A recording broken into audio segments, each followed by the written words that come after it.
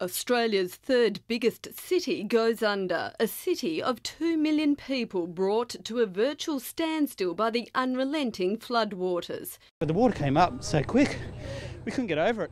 Our car's also underwater there. We lost the keys yesterday. You'd think the street would be under this morning. I think the street's been full of people just helping each other. You know, whether they live in the street or not, they've just come to help friends who live in the area. In the heart of Brisbane, they've never seen boats go down the river like this before. Then an entire restaurant came drifting past, unfortunately living up to its name, Drift.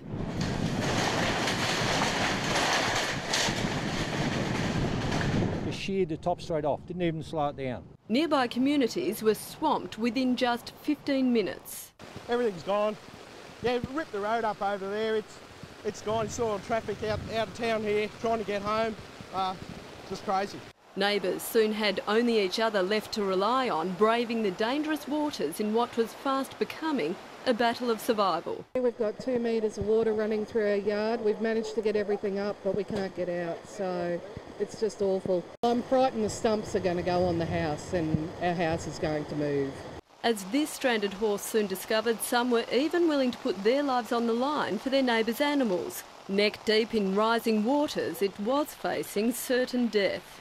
I had to sort of hold its head up for a bit to help it breathe, but you know, it's right now, so that's good.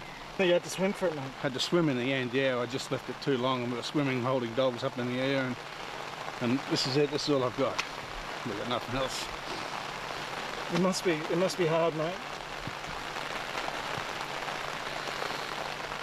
Yeah. We'll be right, we're alive, that's the main thing.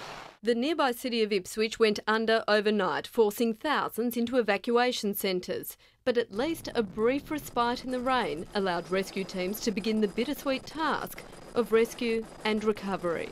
Ali Donaldson, 10 News.